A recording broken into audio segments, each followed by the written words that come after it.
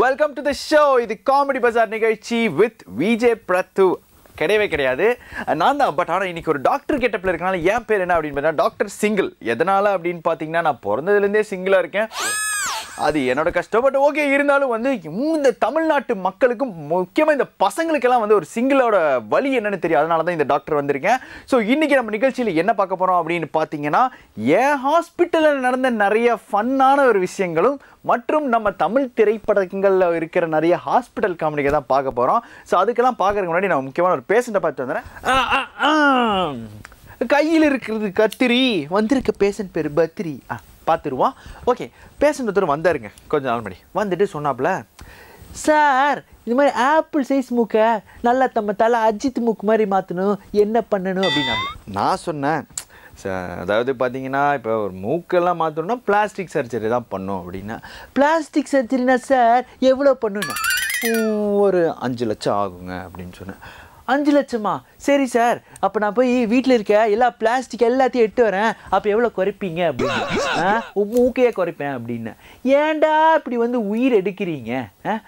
Plastic சர்ஜரிக்கு வீட்டில் இருக்க plastic எட்டு வருவாங்களா இந்த மாதிரி பேஷண்ட்ஸ் எல்லாம் பார்த்தேன்னு வச்சுக்கோங்களேன். நம்ம நம்ம வாயிலே ஊசி குத்தி வாயில் வெ- கத்திரி வெட்டிட்டு போய் சாவணுங்க. அட இப்போ ஒரு பேஷண்ட் வந்தாரு. நல்லா வெயிட்டாக வந்தாருங்க. வந்துட்டு டாக்டர் வெயிட் கொஞ்சம் கம்மி பண்ணணும். என்ன பண்ணலாம்? அப்படின்னு கேட்டாப்புல. நான் சொன்னேன் டெய்லி ஒரு அஞ்சு கிலோமீட்டர் நடங்க போதும் அப்படின்னு. சரி அப்படின்னு சொல்லிட்டு ஒரு ஒரு வாரம் கழிச்சு சரி என்னாச்சுன்னு கூப்பிட்டு கேட்டேன். என்னங்க எப்படி இருக்கீங்க?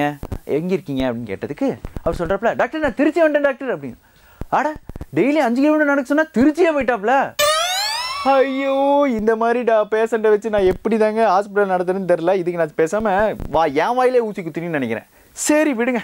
நம்ம ஹாஸ்பிட்டலுக்கு சூப்பராக ஒரு பஞ்ச் ஒன்று ரெடி பண்ணலாம் அப்படின்னு சொல்லிட்டு ஒரு யோசனை. நமக்கு தான் சொந்தமாக மூளை வேலை செய்யாது. அதனால் பக்கத்தில் இருக்க ஹாஸ்பிட்டல் எட்டி பார்க்கலாம்னு சொல்லி போய் போய் பார்த்தா அங்கே போட்டிருக்காப்புல கூட்டிகிட்டு வாங்க தூக்கிட்டு போங்களா என்னங்க ஹாஸ்பிட்டல் அங்கே நடத்துகிறாங்க மேட்ரிமோனி பசங்க. ஓகே அதை விடுங்க. சரி இன்னொரு ஹாஸ்பிட்டல் போய் பார்க்கலாம்னு சொல்லிட்டு அங்கே போய் எட்டி பார்த்தா பணத்தை கொண்டு வாங்க பணத்தை கொண்டு போங்களா இல்லை செத்த போயிலே. இல்லை ஹாஸ்பிட்டலால் நடத்துகிறீங்க மார்ச்சரி நடத்துகிறானுங்க டென்ஷன் டென்ஷன் எனக்கு பிபி இறக்கூடாது ஓகே இவங்கெல்லாம் வச்சு நம்ம ஒரு சூப்பராக ஒரு பஞ்சு நான் வச்சுருக்கேன் உங்களுக்கு. என்ன அப்படின்னு பார்த்தீங்கன்னா நர்ஸு நம்ம கையை பிடிச்சா செக்கப்பு அதே நம்ம நர்ஸு கையை பிடிச்சா அது பிக்கப்பு இது எப்படி? இதெல்லாம் பண்ணனால தான் நான் சிங்கிளாக இருக்கேன். ஐயோ சரி அதெல்லாம் விடுங்க. ஆ, ஆ, ஒன்றும் இல்லைங்க என் ஹார்ட் பீட் செக் பண்ணுறேன் வேறு எதுவும் இல்லை. ஆ கொஞ்ச நாள் பண்ணிங்க ஒரு பேஷண்ட் வந்தாப்புல. டாக்டர் எனக்கு ஒரு ஒரு வருஷமாக வயிறு வலின்னு சொன்னாப்புல. அப்படியாப்பா? சரி உட்காருங்க. நம்ம ஏதோ ஒரு மாத்திரை எழுதி கொடுப்போம்னு சொல்லிட்டு ஒரு புது பேனை வாங்கியிருந்தேன். சரி ஓகே அந்த புது பேனா எழுதிதான்னு சொல்லி ஒரு பேப்பரில் ஒரு நாலு கிறுக்கி கிறுக்கி வச்சுட்டு ஒரு ஃபோன் வச்சுன்னு சொல்லி பேசினேன். ஹலோ?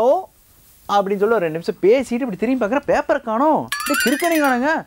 நான் கிறுக்கின பேப்பர் எடுத்துகிட்டு போய் மெடிக்கல் ஷாப்பில் கொடுக்க. அந்த மெடிக்கல் ஷாப் கிறுக்கேன் கிறுக்கினதுக்கு ஒரு மெடிசன் எடுத்துகிட்டு அடுத்த நாள் இந்த கிறுக்கை என்ன பார்க்க வந்தாப்புல.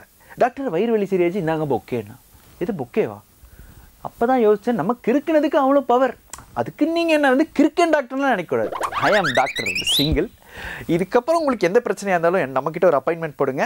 எடுங்க அந்த பேனாவை. ஒரு நாலு கிறுக்கு இருக்கும். ஸோ நான் கிறுக்கலாம் மாட்டேங்க. தைரியமாக என்கிட்ட வந்து நீங்கள் வைத்தியம் பார்த்துட்டு போகலாம் I am doctor single so வந்து இப்போ ஒரு பேஷண்ட் கொஞ்ச நாள் முன்னாடி ஒரு ரெண்டு நாள் முன்னாடி வந்தாப்புல. யாருன்னு பார்த்தீங்கன்னா அவர் பார்த்தீங்கன்னா ஒரு மாதிரி ரவுடி டான்னு நினைக்கிறேன். அந்த மனுஷன் வந்துட்டு ஒரு மாதிரி முரட்டாளாக இருந்தாப்புல வந்துட்டு ஆ டாக்டர் அப்படின்னப்புல சொல்லுங்கள் உட்காருங்கப்பா அப்படின்னு "ஆ, டாக்டர் அப்படின்னப்புல சொல்லுங்கள் என்னாச்சு? அப்படின்னு டாக்டர் எனக்கு சளி அப்படின்னு. சளியா? தொண்டை வலி சளி அப்படின்னாலே வந்து நமக்கு கொஞ்சம் உஷாராயிக்கணும். ஏன்னா வந்து இந்த காலத்தில் என்ன அப்படிங்கிறது தெரியாது. ஓகே நான் கேட்டேன். அண்ணே ஆள் மொரட்டாக இருக்கும்போது நமக்கு கொஞ்சம் மரியாதை கொடுக்குறனால அண்ணே எப்படிங்கண்ணே சளி வருதுன்னு கேட்டேன். அதுக்கு அவர் சொன்னார் இந்த மாதிரி டாக்டர் அப்படின்னு ஆனால் சொல்லுப்பா சளி எப்படி வருதுன்னு கேட்டேன். "அஹ், டாக்டர் கொஞ்சம் கிட்ட வரீங்களா அப்படின்னு சரி ஓகே அப்படின்னு சொல்லிட்டு நானும் கிட்ட போக கொஞ்சம் ஆறுதலாக இருக்கும்னு சொல்லிட்டு நின்னா டாக்டர் உங்கள் கையை நீட்டுங்கன்னு அட எதுக்குப்பா கையே? சரி பாவம் அப்படின்னு கையை கொடுக்க. டாக்டர் இருங்க டாக்டர் அப்படின்னா. சரி சரின்னு பொறுத்து கையை நீட்டினதுக்கு அவன் என்ன பண்ணா தெரியுமா? சளிச்சு அப்படின்னு சொல்லிட்டு சை கையில் அந்த சளியை போட்டான்.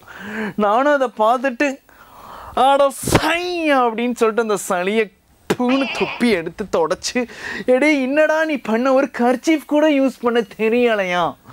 எனக்கு வந்து ஆத்திரத்தை கத்திரி எடுத்து கட் பண்ணியிருப்பேன் பாவம் பேஷண்ட்டாக இருக்கேன் நான் டாக்டர் வேஷத்தில் இருக்கேன்னு சொல்லிட்டு அந்த ஒரு காரத்தில் அவனை நான் சும்மா விட்டேன்.